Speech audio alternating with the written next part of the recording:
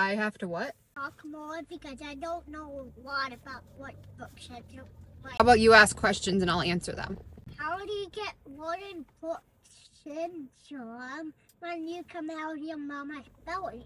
Sometimes there's other people in the family that have it and that's called the it's hereditary. Sometimes there's not other people that have it and sometimes you're the sometimes you're the first one. When I got Waardenburg syndrome, I needed cochlear implants and and that scared my mom. Oh, buddy, why'd you say it scared me? When I came out of your belly, the doctor said I needed these and these, right? So that scared you.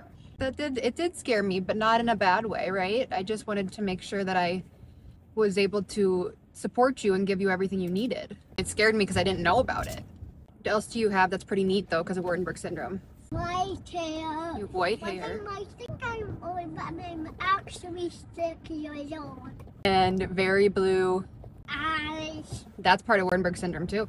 It's about a lack of pigment, right? And pigment is what gives things different colors. Melanin is Melanin. what makes the colors your hair. Yeah. So I must be getting right melanin.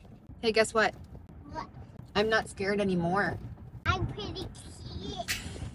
and modest. Do you think if we ever have another baby that they would have Waardenburg syndrome? But she was the actual butch boy.